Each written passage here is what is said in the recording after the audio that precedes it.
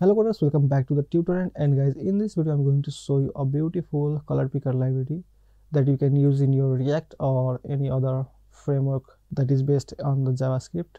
A long time ago i made a video on the react color and that is also a fantastic library for the color picker.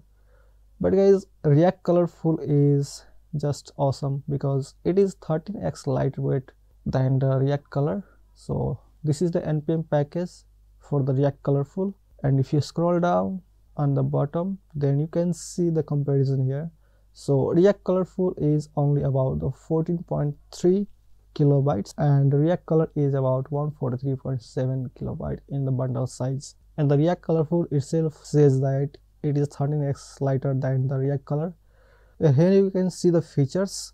So it is a small it is tree shakeable that is only the components you need is imported from the library and it is also type safe so you don't have to worry about the errors in the post production so it is also mobile friendly. So you can see here which companies or websites are using this component library. So storybook is using it on their website and resume.io one of the most popular resume builder on the internet and and you can see the list below. So let me quickly show you how you can use it in your applications. So i'm going to show you by using it in a next.js application which i recently created. So here i'm going to remove all the existing code. So first step is to install this component package that is npm i react colorful. And you have to open a new terminal here and just run it. And now you can see it is installed in the two seconds so it is very lightweight. So you can see here the most basic usage and that is you just need to import this hex color picker. And this is one of the 12 color models available in the react colorful. So here you can see we get the hex hex alpha rgb rgba and rgba string hsl so there are 12 including all the variants. And the first one is the hex color that we are going to use right now. So let's just copy it from here. And I'm going to import it on the top. Import from react colorful. And now we can just use it anywhere in our component. So hex color picker. And it is going to give us the default color picker. So we have to use the client component to use that. Use client. So here you can see you get the default color picker right here. And we just need to center it little bit. So i'm going to put it in a div. Give it a class name and give it a class name of flex and flex. So now it looks good and and it is not doing anything so we need to create a visualizer to show that we are picking actual color. So i'm going to create a p tag here.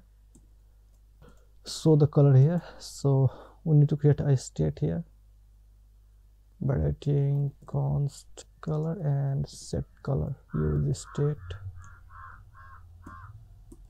And by default i'm going to give it some color.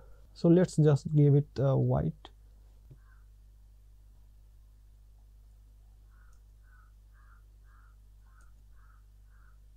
And just increase the size.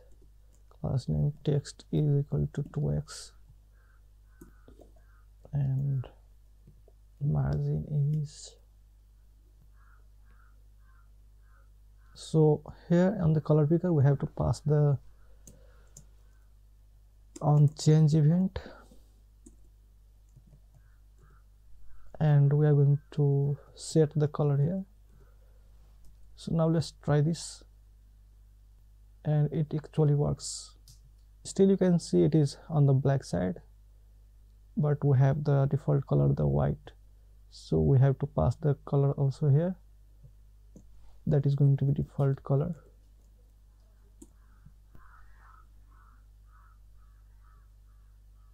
So you can see here it works fine. And if you want to set it to any other color then just copy it from here and paste it in the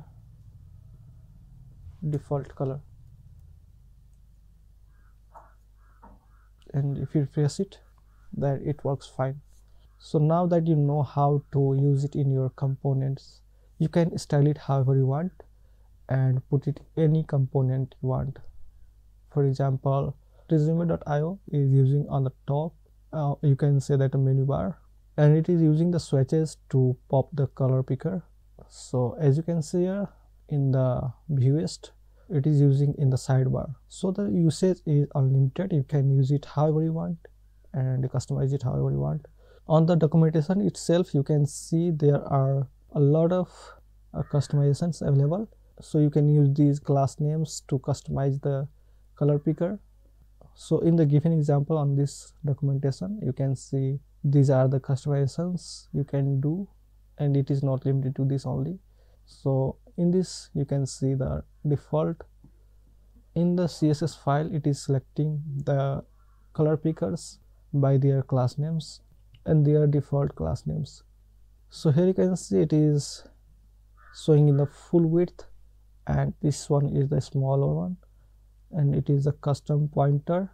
By default you get the rounded pointer but here is the custom pointer that is square shaped. You can move the slider up and down and you can do many things like this. So just export it yourself. So in our default implementation you can see it is only outputting or giving us the color codes but what if you want to give it the color code yourself that is giving the input here? You can do that too with the uh, helper component that is given in this documentation.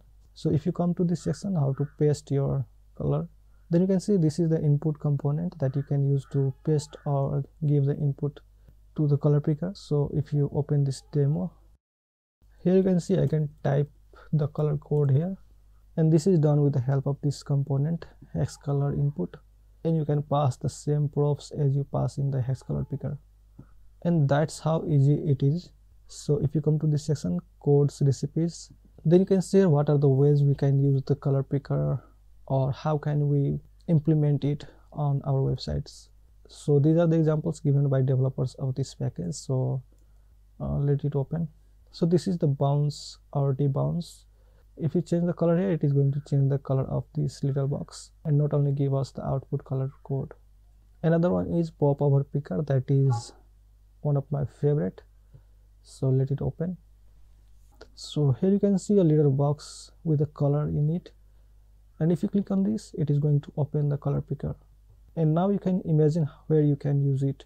You can use it in your navbar you can use it in your sidebars you can use it in your um, buttons so i like it very much. So here you can see the implementation.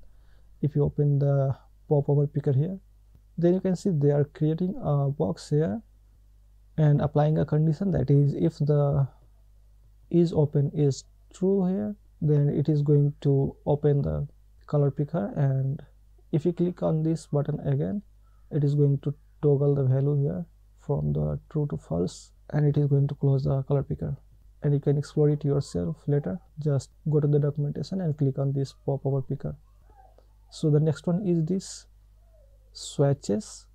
So in this example here you can see they are creating a data set of the colors. And from this data set they are mapping or iterating the swatches. So if you come to this swatch picker they are using the map to render these swatches and if you want to add any swatch in this you can do that programmatically or you can just manually come to the app.js change the value here. So i'm going to add another swatch here by writing 1 2 3 4 and if i save it then you can see the white there. So guys that's it about the react colorful and i hope you now got idea about the react colorful and how to use it in your applications. And if you have any doubt then you can ask in the comment section. So thanks for watching this video. I hope you really liked this video. And if you did so please subscribe to Tutorend and stay healthy keep coding and keep watching Tutorend